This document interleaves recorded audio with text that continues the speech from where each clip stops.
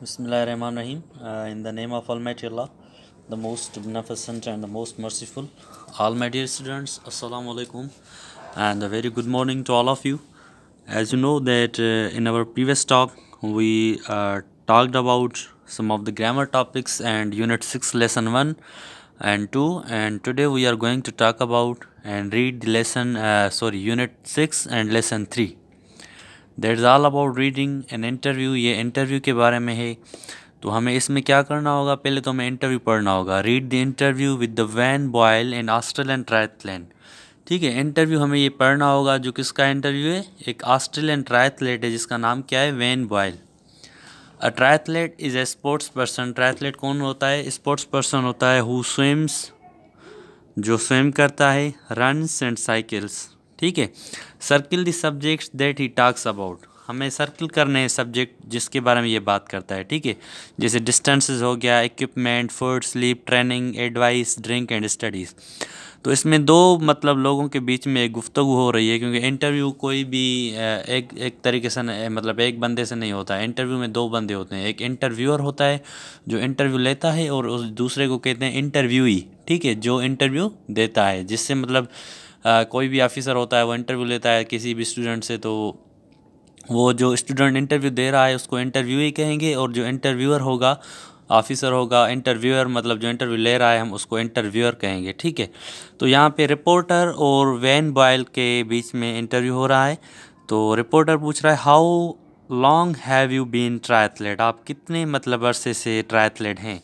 तो जो ऑस्ट्रेलियन ट्रायथलेट है वैन बॉयल वो रिप्लाई करता है I took up triathlon I took up triathlon two years ago ठीक है? मैंने जो ट्रायथलैन की फ़ील्ड में आया, वो दो साल पहले आया so I am still improving इसलिए मैं इम्प्रूव कर रहा हूँ अपने आप को।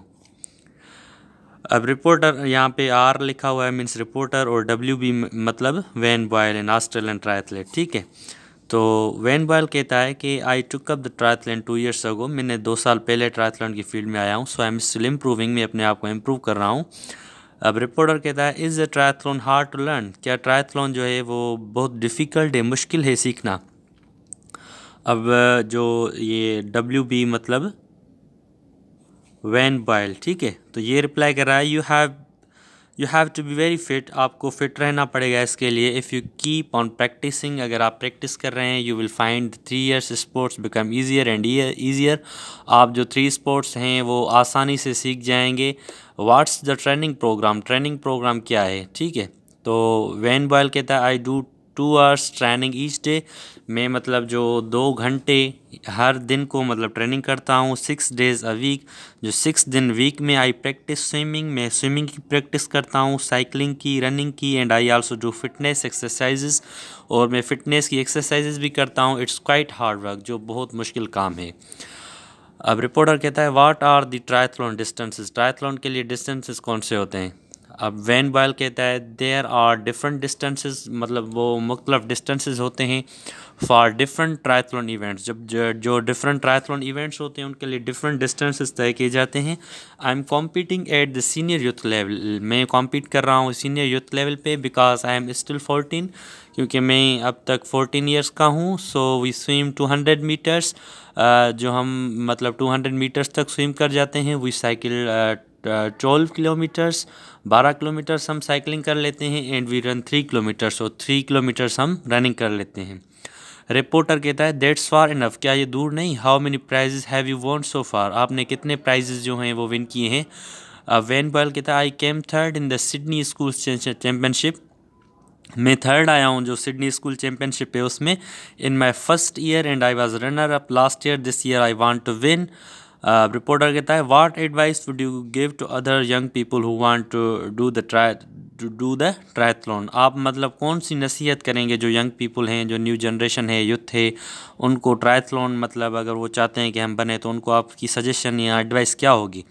वेन बॉयल कहता है I would tell them to start with swimming मैं उनको बताऊँगा कि वो स्विमिंग से स्टार्ट करें. If they can not swim well अगर वो अच्छे तरीके से स्विम नहीं कर सकते they will never do well in the triathlon वो कभी भी मतलब ट्रायथलॉन में अच्छा नहीं कर पाएँगे।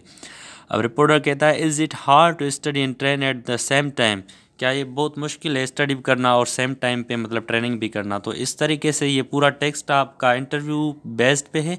तो ये इसमें रिपोर्टर और वैन बेल की अपने आप मतलब दोनों की डिस्कशन हो रही है। तो ये पूरा टेक्स्ट आप थोड़ा थोड़ा सा बचाए, वो आप खुद पढ़ना मीनिंग से।